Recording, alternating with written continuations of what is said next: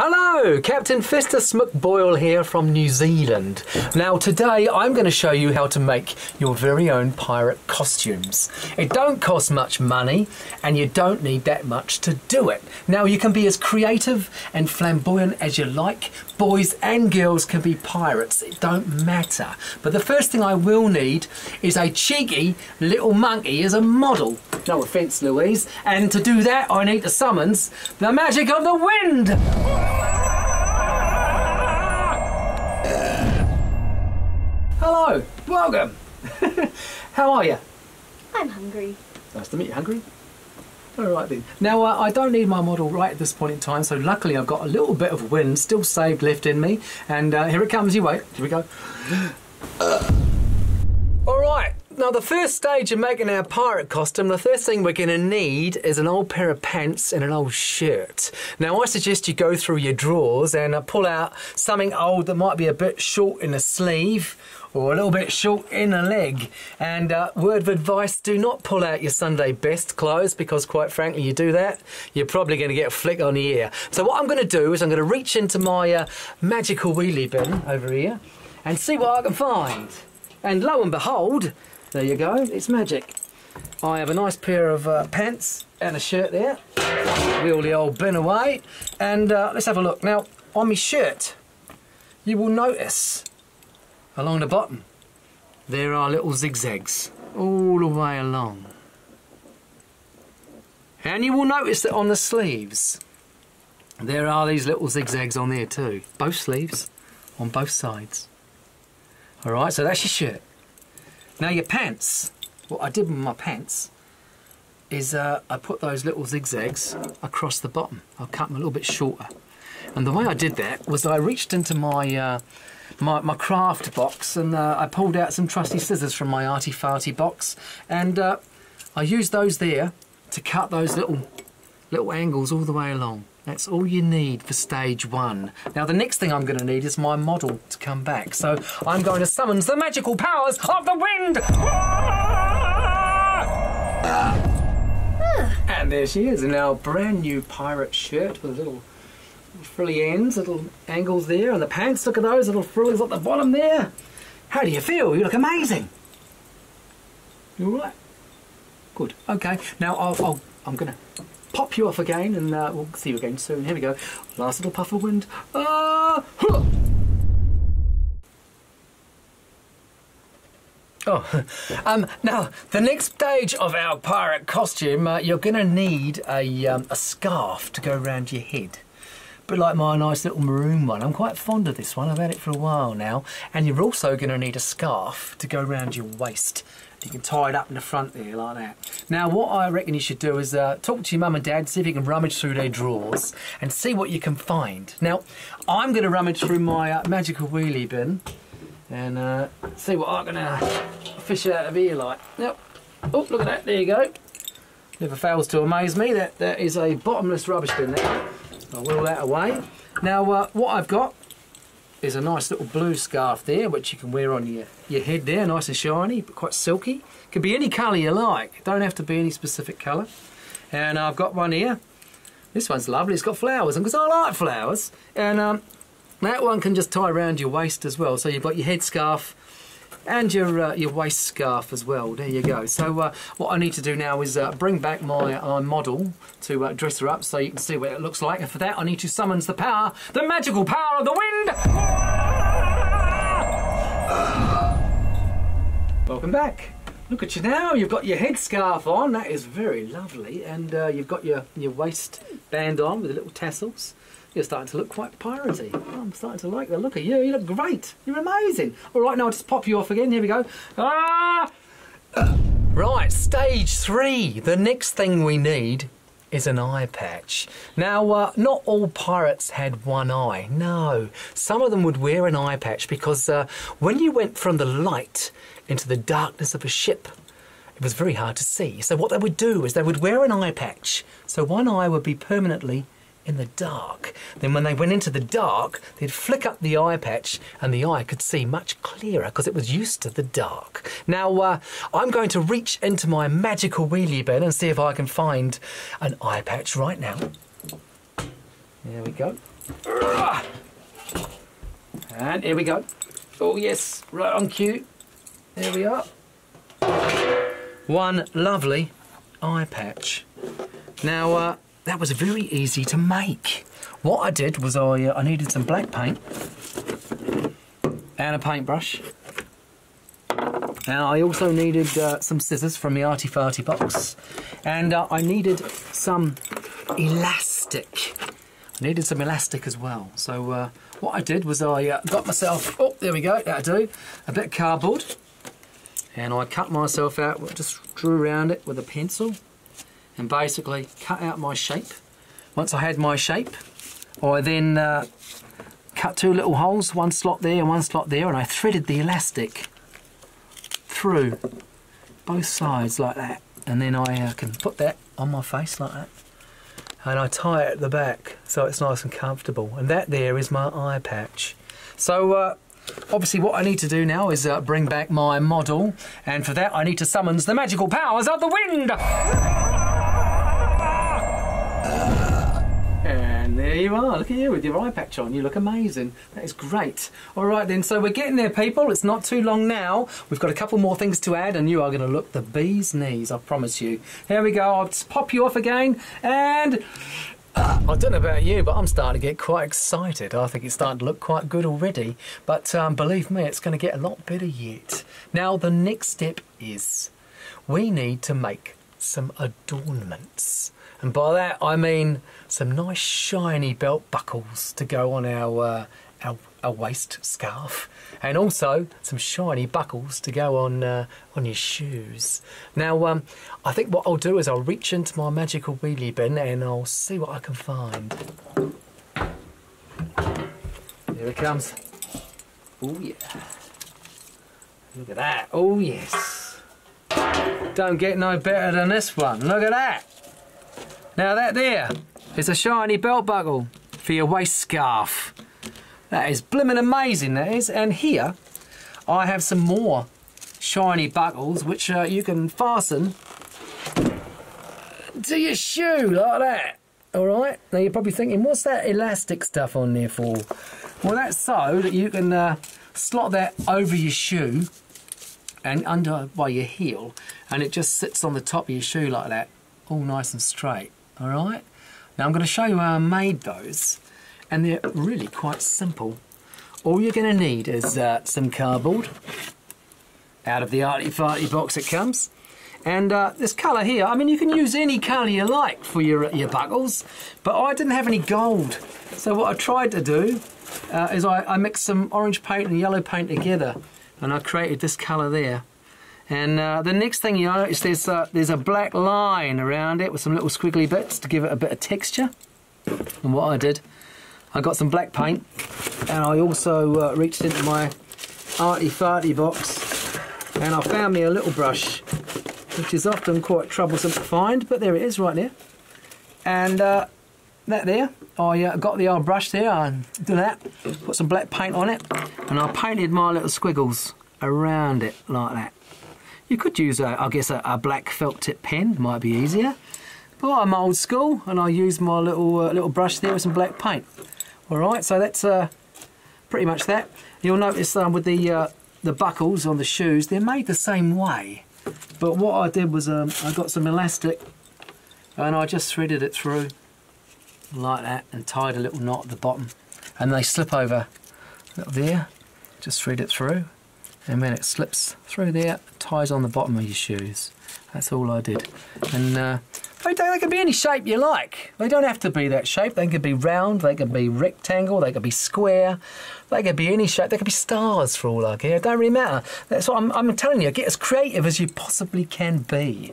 But you just draw yourself a shape, cut it out with your trusty uh, arty farty scissors, and then you uh, cut little a couple of little gaps in here like that and that's where you can thread your elastic through. Alright so that there is your your belt buckle.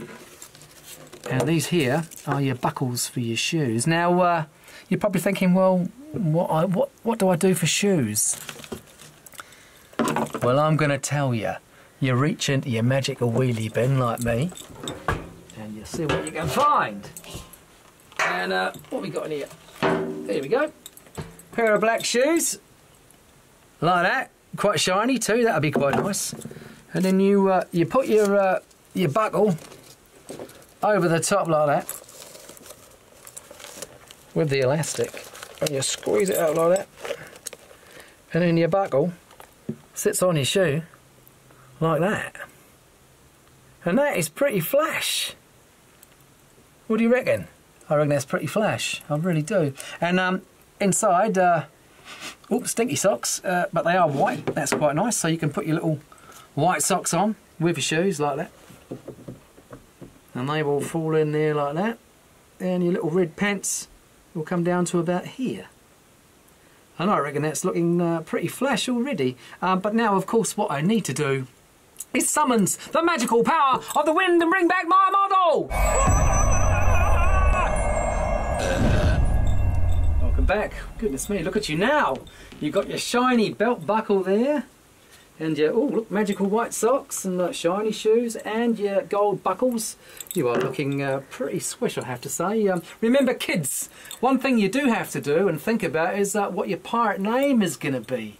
Um, and um, you've got plenty of time to think of your pirate name so don't worry about that yet. Um, but I'll pop you off now. Here we go and ready for the uh, with the power of the magical winds and all here we go Uh, look out, Brussels sprout, because now we're on to the next stage. Think about what we've got so far. We've got our uh, we've got our shirt, we've got our pants, we've got our headscarf, our waist scarf, we've got our eye patch, we've got our buckled shiny shoes and socks, and now it's the piece de la resistance. It's the pirate hat. Would you believe?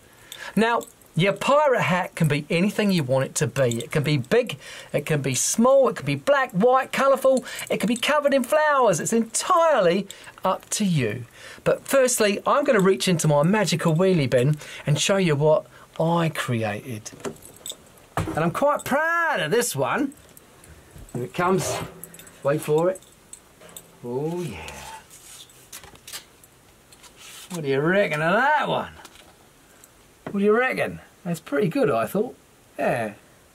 Now, uh, I'll show you what you're going to need to make this one, right? That's our hat there. I'll put the lid on me, uh, me old wheelie bin. Wheel it away. All right, let's have a look at it. So, there's, uh, there's three parts to this one. And there's your little piece at the top here. I call that a rosette.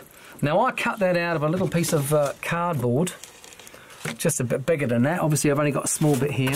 And I got out some scissors. And I got my, uh, my pencil out. And I drew me a shape. Kind of like that. It doesn't have to be like this. It can be anything you like. But I cut out a shape. Drew it out. Cut it out. And then uh, I coloured it in. And I used uh, felt tip pens to colour this in.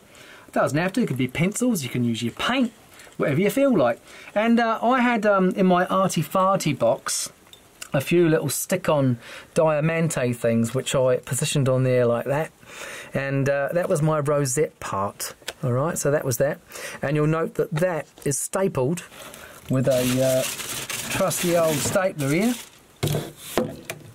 I stapled that onto this side of the hat. The hat is made up with two parts. There's a front and a back. And it's stapled through the middle there and through there to the shape of my, of my model's head. Alright? And that's that. So that's it. And it's um, made up of cardboard. Same as this. I got myself an old cardboard box and I drew a shape which I liked. And I cut it out with my trusty scissors like that. And then I got my black paint there, my uh, paint and my, my large brush. And I painted the whole thing only on one side and I let that dry. And then the other side obviously I cut that out the same shape with my trusty scissors. And I painted that with black paint as well let that dry. And then I stuck the old uh, rosette piece on with my stapler before I assembled the hat. Once I had the two halves assembled I basically got it like that and I put it on my model's head and I pinched it where it kind of fit on both sides nicely and I stapled it with my trusty stapler through there all the way along and I did the ends as well And uh, that there is my wonderful pirate hat. And as I said, I'm very proud of that. It's actually quite lovely. And uh, yeah, that's all you really need. But uh, obviously what I need to do now is um, I need to put this onto my model. So I'll need to, uh, you know the drill, I'll need to summon the power of the magical winds! Goodness me, look at you now. Hurrah! You are looking amazing! Goodness me, a shiny, bedazzling uh, rosette at the top there, and that hat looks uh, perfect fit, to be honest. We are getting so close now. You are starting to look, uh, actually, you're starting to look uh, better than me. okay, well, I'm just going to pop you off. Here we go, you ready? Uh, one more, one more little puff of wind. Now, as well as being a pirate, I'm actually a mind reader as well. And I know what you're thinking. You're thinking, Captain Festus, you have literally blown my mind. I know, I'm good at that. Now, uh, you're probably thinking, um, well, you know, if you're going to be a pirate, don't you need a gun or a sword? Well, no, you don't, because we're pacifist pirates. And um, yeah, I'm going to meet you halfway. What I'm going to do is um, I'm going to make you. Uh, well, I'm going to make you a cardboard sword because, quite frankly, that's as intense as warfare gets on my boat. All right, so uh, what I'll do now is I'll reach into my magical weedy bin. Here we go. And uh, reach in and uh, uh, ta-da! there you go. There is my cardboard pirate sword. You're thinking, I didn't think you were going to blow my mind anymore, but quite frankly, Captain Festus, you have. Oh, I know. I told you I was good. Now, um, I'll put my lid back on. And I will show you how you're going to make your cardboard sword. All right? Now, uh, all you're going to need is cardboard box, tinfoil. Now, you'll notice with the tinfoil, there is a flat side and a shiny side. You can use whatever side you like. If you want a flat sword, it can be that type. If you want a shiny sword, it can be that type. All right? So you're gonna need that. You're gonna need your trusty arty farty scissors. And you're gonna need your black paint. You're gonna need your brush. And uh, you're gonna need your stapler. All right, that's all you need. So, what I did was I got my cardboard box and I opened it up and I uh, got out my trusty pencil and I drew myself a sword shape. All right, and I just uh, ignore this piece across here because I'll get to that bit. That's a bit a bit later on. So I just drew this sword with the handle and the blade, like that. Drew it out with a pencil, and I'll cut it out my trusty arty farty scissors. All right, that was that part. Now, the handle part I painted with my black paint, like that, right? Both sides. Now, I know what you're thinking, because I'm a mind reader. You're thinking, well, that looks pretty thick to be just one piece of cardboard. And you know what? You are dead right.